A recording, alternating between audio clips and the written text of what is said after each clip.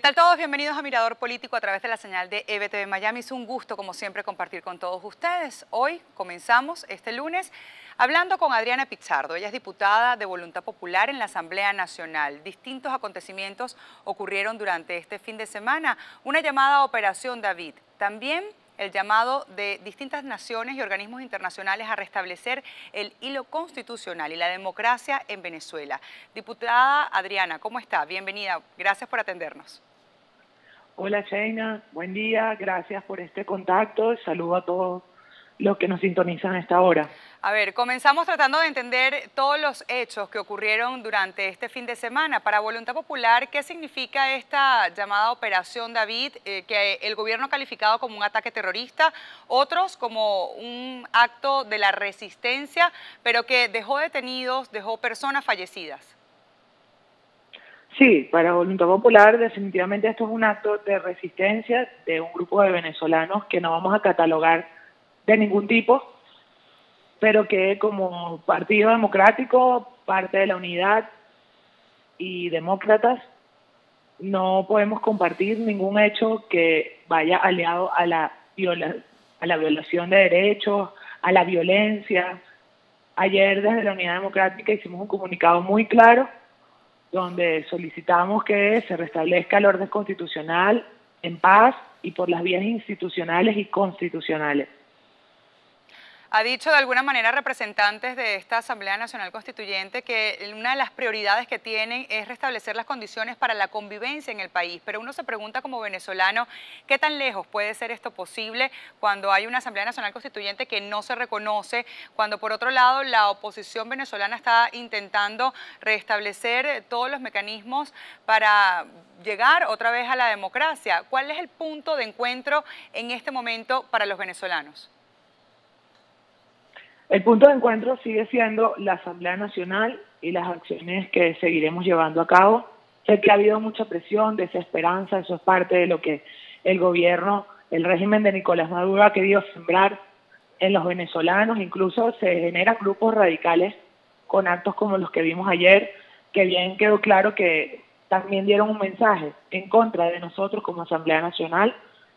El punto de encuentro sigue siendo los poderes legítimamente constituidos, la Fiscalía en manos de Luis Ortega Díaz, el Poder Electoral con los cambios que tienen que hacerse, el Tribunal Supremo de Justicia con los magistrados que fueron nombrados por esta Asamblea Nacional, y bueno, y los diputados y, y el Poder Ejecutivo, ese poder mal llamado constituyente, fraudulento y totalmente ilegítimo y desconocido y rechazado por todo el pueblo venezolano. Ellos no son quienes para tratar de cambiar o buscar un panorama de paz en Venezuela que todos queremos, pero ellos no tienen la legitimidad para hacerlo, mucho menos violando la constitución a y mocha, como lo han hecho en tan solo una sesión que han llevado a cabo. Eh, diputada, le voy a pedir eh, un segundo para compartir con usted y con nuestra audiencia palabras de la fiscal general Luis Ortega Díaz este domingo en un foro en Caracas. Escuchemos. Entendiéndola a la orden que dio el Ejecutivo, procedieron a remover, a remover de manera ilegítima a la fiscal general. Yo desconozco esa remoción. Yo sigo siendo la fiscal general de este país. El derecho de poder tener los espacios que nos pertenecen y no sean arrebatados.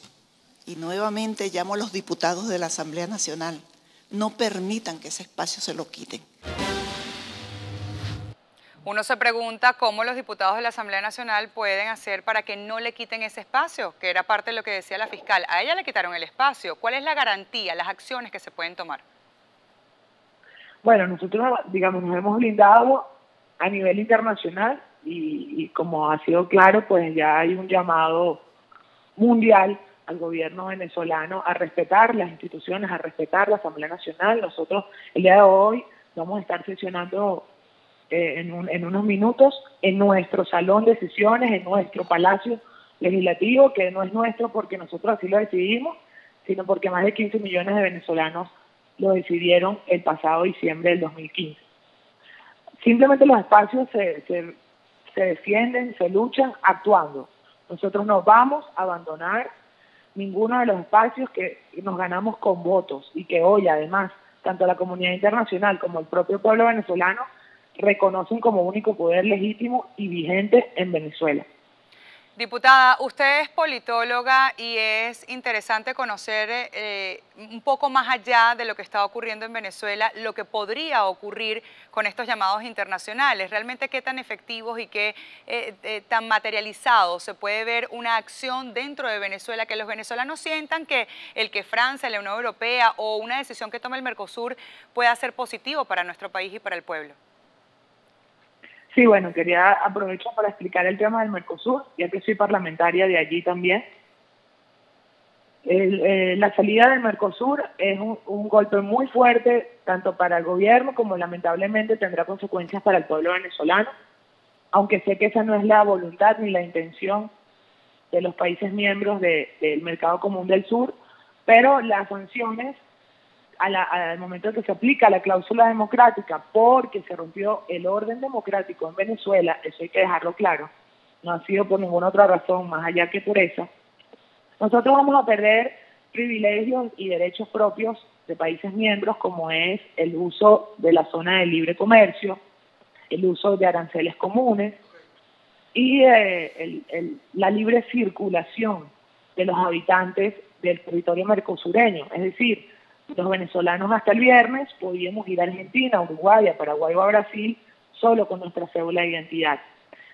Esto entonces no solo trae consecuencias para el pueblo venezolano que de repente hoy usa la frontera brasilera para conseguir algunos productos y alimentarse, sino que trae consecuencias económicas y comerciales muy importantes para Venezuela al no poder utilizar la zona de libre comercio y no eh, ser privilegiado con los aranceles comunes. Entonces, aquí vamos a ver que en los próximos días se va a notar eh, el hecho de que Venezuela esté fuera del Mercosur en materia netamente por los momentos económicos.